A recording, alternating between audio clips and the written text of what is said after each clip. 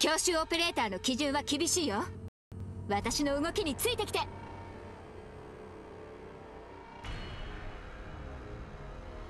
この辺温度が低すぎるかな？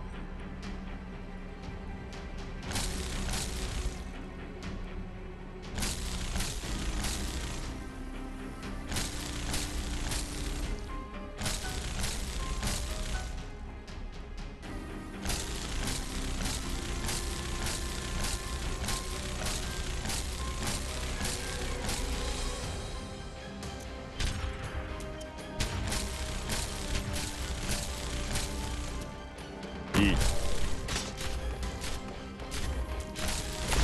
もしどこかが急に発火したらそれはただの副作用だからね。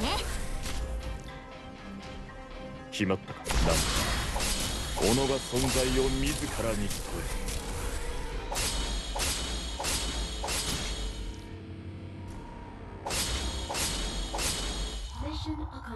え